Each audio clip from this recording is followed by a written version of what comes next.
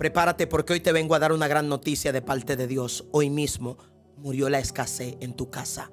Escucha bien, porque este mensaje, mujer, Dios te lo mandó. Hombre, Dios te mandó esta palabra para bendecirte. Hoy se va la miseria de tu casa. Hoy se va la falta de fe. Murió la escasez. Hoy la enterramos en el nombre de Jesús. ¿Sabe por qué murió la escasez? Porque llegó la abundancia de Dios. Porque llegó la bendición de Dios. Porque la puerta de Dios se va a abrir. Tú tenías mucho tiempo esperando este milagro. Tú tenías mucho tiempo orándole a Dios por este milagro. Yo profetizo en el nombre de Jesús que llega la bendición de Dios a tu vida y que los cielos se abren a tu favor y con él el buen tesoro de Jehová de arriba. Y así como dice la palabra de Dios en Deuteronomio 28, 8, y la bendición de Jehová te perseguirá donde quiera que tú vayas.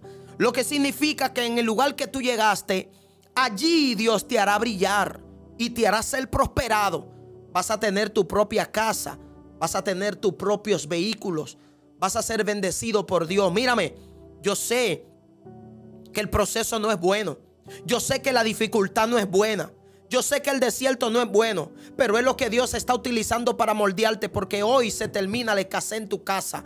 Yo necesito que tú comentes esta palabra. Contigo que estoy hablando, mujer de Dios. Contigo que estoy hablando, hombre de Dios, porque tú eres quien va a saborear el milagro que yo estoy profetizando sobre tu vida. En el nombre de Jesús, así como la tsunamita recibió su hijo, así como la mujer de Sunem recibió su milagro de abundancia en su casa, también tú lo vas a recibir en el nombre de Jesús. Comente esta palabra, voy a recibir abundancia de Dios.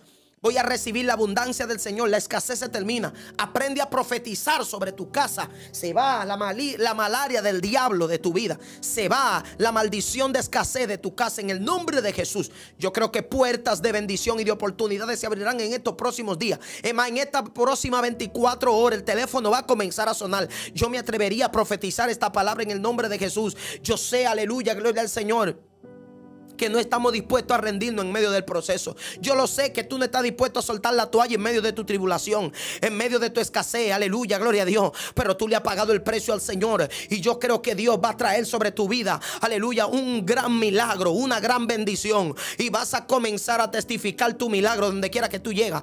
Y hay gente que van a decir, esta tipa se está volviendo loca. Pero esta no era la mujer que estaba arrollada el otro día. Esta no era el hombre que le estaban quitando la casa, el banco. Esta no era la mujer que le estaban cobrando lo que ella debía. No, Dios, aleluya, puede pagar todas tus deudas. Aleluya, Dios puede bendecirte. La Biblia dice así, escucha, porque lo que te voy a hablar es Biblia. La Biblia dice que había una mujer en, en de Sidón. Ella estaba recogiendo un último leño. Dice que estaba recogiendo leña para comerse una torta que le quedaba en su casa. Ella y su hijo, un puñado de harina y un chin de aceite.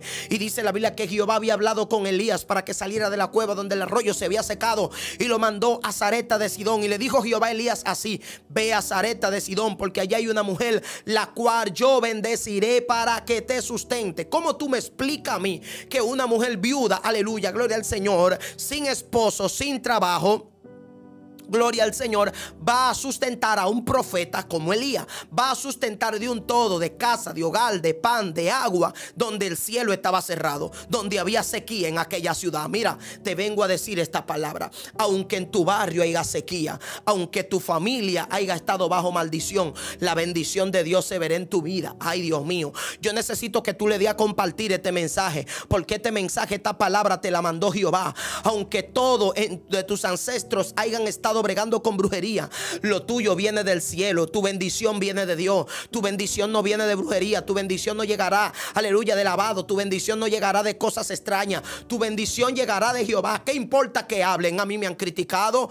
Pero ¿y cómo fue que el varón consiguió esa casa? Pero ¿cómo fue que el varón consiguió ese vehículo? No, es que Dios bendice. Porque me vieron llorando y mientras me veían llorando por la escasez, ellos nunca me criticaron. Porque hay gente que no te van a criticar mientras te vean arrollado con cinco préstamos en el banco y con la cabeza así, aleluya. Ellos mientras te vean con tus hijos pidiendo hambre, ellos no te van a criticar. Mientras ellos te vean andando en el motorcito que en todos los lugares se te apague, ellos no te van a criticar. Mientras ellos te vean la agencia buscando tu vehículo atrás de tu casa, ellos no te van a criticar. Mira que te estoy soltando esta palabra.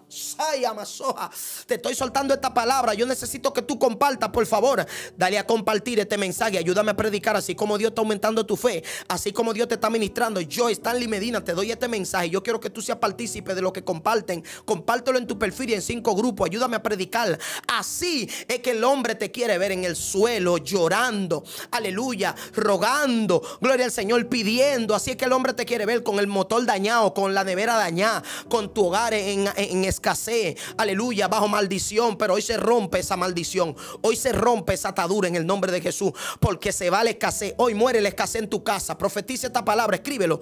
Hoy la escasez muere. Hoy se va la escasez de mi casa. Hoy se va, aleluya, la miseria de mi casa y llega la bendición del Padre. Hoy llega la bendición de Dios en tu vida. Te van a ver bendecido, brillando y prosperado. Sí, porque ellos te vieron llorando. Ellos te vieron pasando un proceso. Ellos te vieron en dificultad. Ahora que se preparen para verte con tu bendición. Que se preparen para verte con tu milagro que se preparen para verte glorificando a Dios, festejando, glorificando a Dios en tu casa, invitando a tus amigos, festejando la gloria de Dios sobre tu vida, sobre tus hijos y sobre tu hogar. Yo no sé de dónde que va a venir esa bendición, pero de algún lugar va a venir la bendición de Jehová. Porque cuando Dios determina bendecir a un hijo de él, tócate el mismo diablo para bendecirlo. La Biblia dice, aleluya, que la viuda solamente tenía un puñado de harina y un chin de aceite y Elías Dios lo envió allí para que esa viuda lo sustentara. ¿Cómo iba a pasar? La bendición iba a caer en su vida. Porque el mismo Dios que procesa, mi hermano, es el mismo Dios que bendice. Hay gente que solamente hablan de bendición, pero yo no creo en ese evangelio. Pero hay otros que solamente hablan de clavitud, de maldición y de proceso. No, yo tampoco creo en ese evangelio. Yo creo en un evangelio donde Jehová prospera, pero también Él procesa. Pero cuando Dios lleva un proceso, te lleva por un desierto, es porque tiene un lugar que fluye leche y miel preparado para ti. Ahora, si tú no estás dispuesto a que Dios trabaje en ti, pues no estás dispuesto ni estás preparado para recibir la bendición. Pero yo estoy hablando con mujeres aquí que le han pasado el proceso a Dios con 100. Yo estoy hablando con hombres, escúchame bien, yo estoy hablando con gente aquí. Alabado sea el Señor, que le están pasando el proceso a Dios calladito. Pasa tu proceso calladito, porque lo mismo que te vieron llorando un milagro a Dios, te verán honrando a Dios, glorificando a Dios y bendiciendo a Dios. Yo, Stanley Medina, siervo de Jesucristo, vengo a decirte que me sigas si no me sigues y que el Señor te va a bendecir con un milagro. Prepárate, porque van a ver tu bendición. Prepárate porque te van a ver honrado, bendecido y prosperado por Dios, no por los hombres. Porque el hombre te da algo y al final te lo quita. Dice la Biblia que la viuda no tenía nada. Dios permitió que él fuera donde una mujer pobre. Para que cuando la mujer fuese bendecida entendiera que fue bendecida por la gloria de Dios y que tenía que mantenerse humilde. Hoy en día hay gente arrogante porque yo mismo hice su diligencia. Fueron prosperados por su propia fuerza y hoy nadie, nadie lo aguanta. Y ellos dicen que fue Dios, pero son arrogantes, son chismosos. Son aleluya, altanero, porque lo que vino no fue de parte de Dios. Cuando vino a ver fue el diablo que se lo dio. Pero tú mantente humilde para que cuando la bendición llega, llegue, tú sigas honrando a Dios donde quiera que tú estés. Hoy Dios te mandó este mensaje y te dice, hoy se acaba la escasez en tu casa. Comente esta poderosa palabra, hoy se termina la escasez. Dice la Biblia que la viuda de Zareta, cuando vio el profeta Elías, el profeta Elías la llamó y le dijo, dame agua. Cuando el profeta Elías vio que en medio de una sequía, porque los cielos estaban cerrados para Israel y para todo el mundo en ese tiempo, no había agua. Acá se estaba volviendo loco el rey Jezabel. Y Elías aún estaba huyendo y estaba en un proceso a causa de una misma palabra que le había soltado de sequía. Porque Jehová se lo había declarado causa del pecado del pueblo de Israel, que era un castigo para Israel no para los hijos de Dios. Y dice que los hijos de Dios Dios los sustentó aún en medio de la sequía. Y ese era Elías y la viuda de Zareta y otros más. Y dice que él le pidió agua, la mujer fue y le buscó agua. Y él vio cómo la mujer fue con humildad y le dijo, esta es la que Dios me mandó identificó que esa era la mujer, le dijo, prepárame un pan. Ella dijo, solamente tengo un puñado de harina para mí, para mis hijos, echarme a morir, estoy recogiendo un último leño. Y Elías le dijo, vete, cóseme una torta debajo de la ceniza y dame a mí primero y después come tú y tu hijo. Y cuando la mujer hizo así, dice la palabra, aleluya, que Elías le dijo y profetizó y dijo, por cuanto tú obedeciste a la voz de Jehová a través de mi boca, no faltará ni la harina ni el aceite. Así te dice el Señor, no faltará ni la harina ni el aceite. Prepárate para ver abundancia donde hubo tristeza, habrá alegría y donde hubo escasez, habrá bendición. Yo, tu hermano Stanley Medina, vengo a darte esta palabra en el nombre de Jesús. Vas a ver la mano de Dios bendiciéndote y trayendo bendición a tu vida. Y dice la Biblia que la mujer de Zareta de Sidón fue bendecida y Elías también por la mano de Dios. Comparte esta palabra. Ayúdame a predicar. Dios te lo mandó. Hoy se acaba la escasez y viene la bendición. Créelo.